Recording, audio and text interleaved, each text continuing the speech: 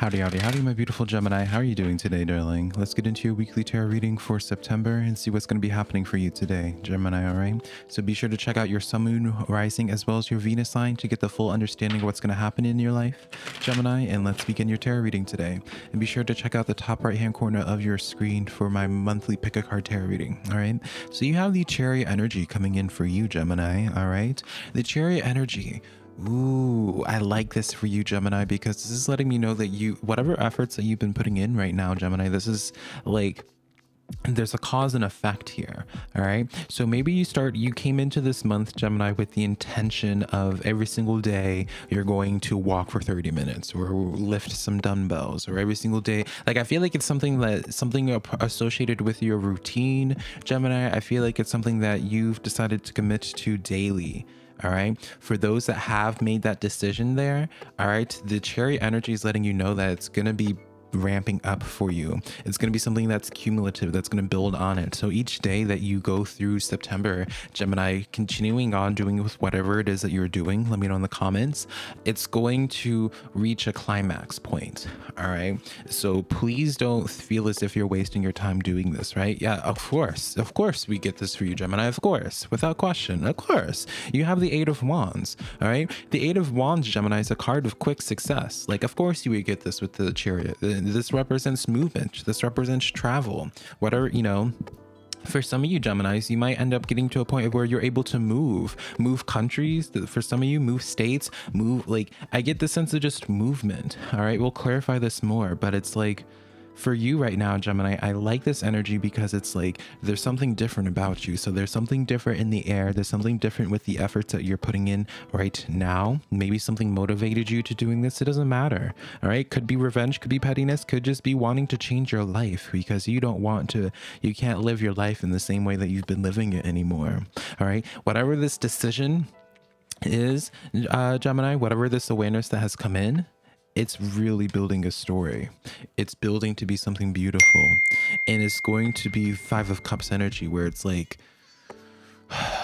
you, there is this sense of having to walk away from certain things, Gemini. I am going to be honest. Maybe it's something as simple as walking away from the bad habits that you've had beforehand smoking, gaming, all right? Maybe you've having to you, during this process gemini while you are healing yourself while you are putting in this effort you're ending up having to walk away from situations people that were um, impeding on your success all right. I do feel like for you, Gemini, this time next year, your life is going to be extremely different in the sense of like either where you live, where you work, who you talk to. All right. There's something in one of those three areas, Gemini, there's something that's going to be vastly different, if not all of them. All right. If not all of them, the energy that I get with this is that, and maybe I'm alone in this, but when I graduated high school, Gemini, I didn't even like the moment that we threw up our caps. I didn't even throw up my cap. I just walked out the door and I was like, "All right, let's go. I don't want to be here. Let's not get in the car pile up." Right? I didn't say goodbye to my friends because I knew I wasn't going to talk to most of them again. And that's kind of the energy I feel for you, Gemini's. There's this sense of like a graduation, and by you graduating, you're just like, you know what? I don't even mess with y'all no more. I don't even want to talk. Y'all ain't y'all irrelevant to me. This is a period. This is a chapter that I'm moving on from. That's what I feel like is happening for you, Gemini. You are graduating. be expecting this Knight of Swords is complementing this Chariot energy. All right. So be expecting, Gemini, during this month, things are going to pick up greatly. All right. The Knight of Swords represents, I might have called it the Knight of Wands. Apologies if I did. But the Knight of Swords is unexpected events, a lot of unexpected things happening. All right. When it's paired with this Chariot energy here, and then with this Eight of Wands, it's like there's all this movement. It's almost as if like for a while there's like a dam like an energetic dam, like something that was blocking the flow of things, the blocking the flow of like your creation of your manifestation, like whatever that is. Something was like blocking it, and now that that axis is that block is being removed, like the energy is just like rushing out. The water is just like rushing out. Does that make sense? So it's like really September is going to be action packed for you. we have the High Priestess card on this Eight of Wands. So Gemini, this is going to be your test ultimately. All right. I feel like this month is going to be a test for you. And I feel like you know it as well of being like, all right, I got to stick to this commitment. I'm going to stick to these commitments. I'm going to really change my life here. Because I feel like for you, Gemini, there's something, there's like, I don't know how to describe it, but it's like you always, you always knew your potential right? But I feel like for whatever the choice is, like you never pushed yourself to the maximum potential that you ever could, right? Like you, like it's one of those things where it's just like, you know what, I could be a bodybuilder if I wanted to be a bodybuilder. I just don't feel like putting in the effort.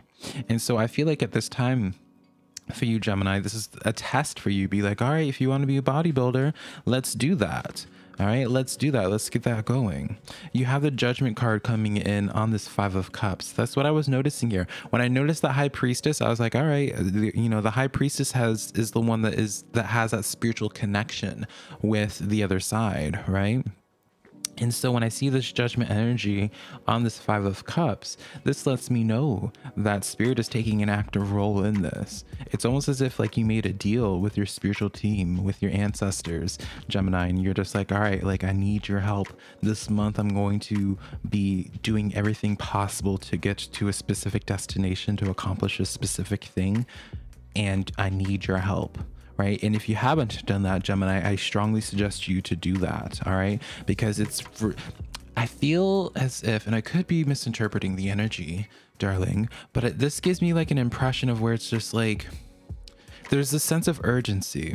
This, I don't want to say desperation, but it's this sense of where it's just like, all right, I, and it's like you, desperation is too much of a negative tone to it, but it's like you want to reach a specific point now or like as soon as possible. Like you're not wasting any time, that type of way. If you haven't already asked your spiritual team, your ancestors, it's not my business how you practice, who you talk to, what you connect to, darling. It does not impact my life. But I do feel like having some type of spiritual influence would really help you out a lot it would really help they would be bringing forth some of these opportunities for you they would be able to help push along this energy and to direct this energy to create what it is that you're trying to quite literally create here Let's get these oracle cards. You have the full moon in Virgo in Capricorn, as well as Scorpio, three full moons. You are good enough, the end of a tough cycle, and it's time to release negativity. You are good enough. It's time to release negativity and the ending of a tough cycle. All right, Gemini. Definitely a new sense of who you are, right?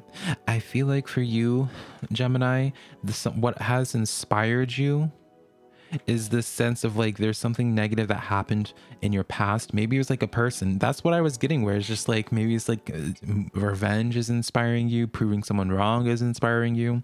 But it's like something something happened in the recent past, Gemini, that caused the sense of being like, all right, I got to change my life now. I got to do things now. Right? Whatever that is.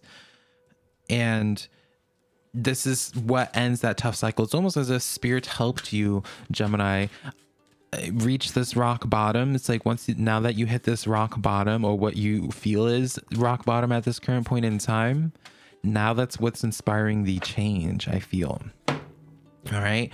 Now is what's inspiring the change. I feel like as as well gemini there is like this message i'm just randomly getting is that there's going to be someone that wants to like lean on you or like have your support in some way and i feel like it's going to make you uncomfortable having someone perceive you from a place of like of authority. Do you ever know, you know, uh, Gemini, you know, when it's like you're trying to adjust to being an adult and having understanding, being like, wow, everyone's seeing me as an adult and tr- speaking to me and treating me as one. That's the kind of realization I get here, Gemini, where it's just like you have like a, a moment where it's just like, wow, someone is coming to me for help about this. They see me as an authority or as a mentor or something to provide. Like, I feel like someone's going to be making you like internally blush or have butterflies because you're just like, oh, wait a minute you know that helps how you see that you are good enough right you start seeing your understanding more of your value you have the period the period card girl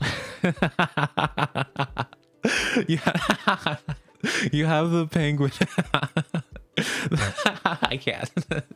you have the penguin card coming in. The period of darkness that you've been experiencing is now passing, Gemini yes, y'all got the period card, honey. Y'all about to be on your period, honey? the period of take notes i want to be getting back into this now um the penguin card as well as the full moon in capricorn share that similar message gemini and the reason why i point this out is not because it's like you know in any other place in your life when someone repeats themselves constantly it's annoying right gemini but when it comes to tarot cards when it comes to your oracle cards having that same repetitive message is actually the best thing to see because as a tarot reader, you know, I've been doing tarot readings for how long now?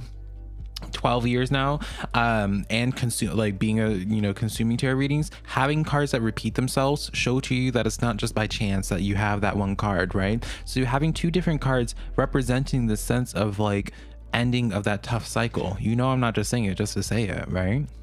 You have the blue heron card coming in, making a stand for what you believe in, Gemini, and do what you feel is right in spite of judgment or disapproval from other people it's interesting for some of you guys it's this sense of where what it is that you're having to walk away from was like you're unable to feel like your most unapologetic on like authentic self gemini. Maybe there's certain traits of your personality that you feel like you had to uh, taper down or maybe like you never felt comfortable enough to like have like a social media being around people because they always made you feel silly for being like oh why do you feel like you could have a business or whatever right you have the walrus card coming in as your third card, which is remaining vigilant about your current situation. Pay pay attention to signs and omens that dict that let them dictate and let them dictate your choices. My goodness here. Remain vigilant about the current situation gemini and pay attention to signs and omens and let them dictate your choices okay? So uh, what i want to be pointing out with this here is just like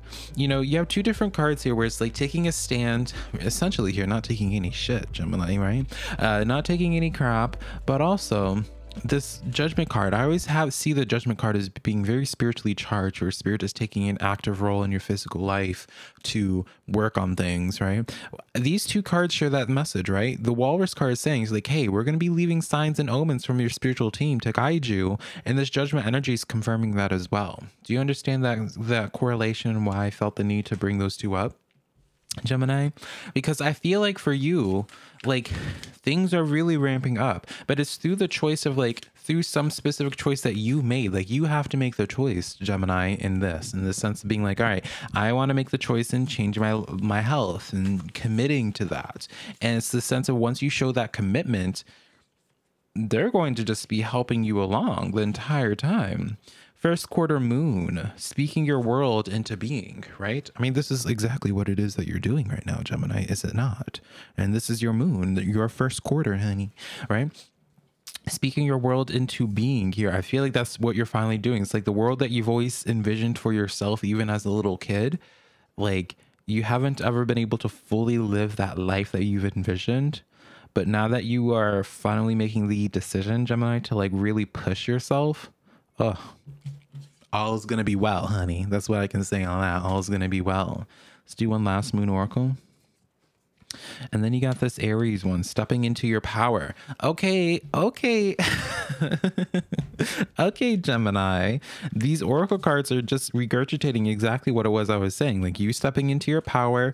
By you stepping into your power, you're having to move on from certain things, trusting everything's going to be well, and taking that um take uh, taking that first step into really living in your highest potential is how I see this as. All right. So let's see if there's any other final thoughts here, Gemini, when it comes to your weekly tarot reading today. Ultimately, darling, like again, like let me know what it is that y'all have committed to this month and really working on because that is the key. That is definitely the key here. All right, so Gemini, you got the Seven of Pentacles, the Six of Wands, fabulous, Seven of Swords, as well as the Page of Swords coming in. All right, so Gemini, I the only thing I want to be saying is don't be frustrated. All right. It's one of your journey is going to be overwhelming sometimes. Your journey is going to at some point in times be like, I don't know how I'm going to make it until the end of the month. Even for some of you, you're just like, you know what? I started out with good intentions, darling. I, I said I wanted to lose 10 pounds this month and do all these things. Like, I'm just more so worried for you, Gemini, in terms of just like overwhelming yourself and then shutting down because you're not seeing the progr- progression immediately. All right. The Seven of Pentacles is that gardening card, right? It's usually representative of like the tree of life, but you think about like a garden right? You're planting the seeds and it's a card of nurturing. The more that you nurture those plants the be- better they grow right? And hopefully you have a good harvest from it right? Six of wands is my favorite card in the minor arcana gemini because it's that fame and victory that fame and fortune card right? Promising if you work at these plants that you're going to have an insane harvest so while yes, there are going to be times where you feel overwhelmed, where you feel like you're not doing any, like actually progressing, or where you feel like you piled on too much. All right even while you feel like there's too much going on, you still continue through because you know at the end of this destination that the fruits of your labor is going to happen, whatever it is for you, Gemini. All right. So that's the reading that I have for you today, darling. Let me know in the comments below how this resonated. Give this video a like and subscribe because it helps me out a lot. And I love you so much, Gemini. Bye, darling.